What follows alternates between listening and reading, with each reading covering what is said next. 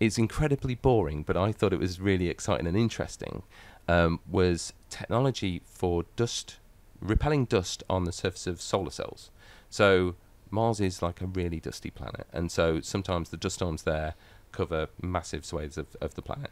Um, and so all that dust is landing on everything that we have there. And because uh, we need the energy from the sun there to power stuff, um, when dust gets on those, you can't just pop out and with a feather Clean duster and, and go and clean it off. Yeah, there are spacecraft that have practically stopped operating because they've been covered with Yeah. with the dust. Yeah, so it's a it's a massive issue. Like it's one of those things where oh, okay, didn't realize that was such a big issue, but there is uh, companies developing technology to repel that dust. So actually, they can send a pulse and it and then it, all the dust kind of comes off those surfaces.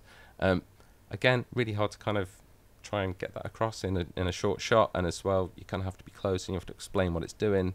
Um, so it didn't get in there, but I think that for me was quite an exciting, an interesting one to, to kind of look into. I wonder if they could do that with spacesuits and just have like a wave, like and all the the dust just like falls off the spacesuit before they come back in. I guess you could shake. Maybe.